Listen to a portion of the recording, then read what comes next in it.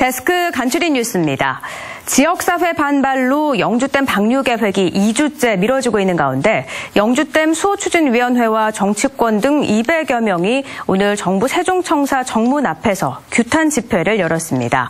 이들은 지역민들의 방류 철회 요구에 대해 환경부가 댐 협의체에 결정을 떠넘기고 아무런 답변이 없다면서 환경부 장관 퇴진과 방류한 철회 등을 요구했습니다. 영주시는 방류 철회와 댐 협의체 재구성, 조속한 준공검사 실시 등을 골자로 환경부와 실무 협의를 진행하고 있지만 지지부진한 상황입니다. 문화 다양성 시대의 사회적 가치를 주제로 하는 제7회 21세기 인문 가치 포럼이 안동 구름의 리조트에서 내일 개막해 다음 달 1일까지 4일간 열립니다.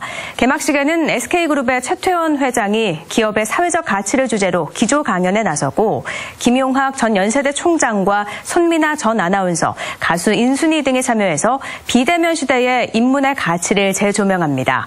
올해 포럼은 인문가치 영화제도 함께 개최되고 코로나19로 인해 유튜브를 통한 온라인 포럼을 병행합니다. 예천군이 경북도청 신도시에서 농산물 꾸러미 드라이브스루 행사를 열었습니다. 사흘 동안 진행되는 이번 행사는 직장인들이 퇴근 시간 무렵 장을 볼 수 있게 오늘과 내일은 오후 5시부터 2시간 반 동안 진행되고 토요일은 오전 11시부터 오후 2시까지 진행됩니다. 농산물 꾸러미는 가공품과 과일, 채소, 쌀 잡곡 등 4종류가 10% 할인된 가격으로 하루 100세트 한정 판매됩니다. 데스크 간추린 뉴스였습니다.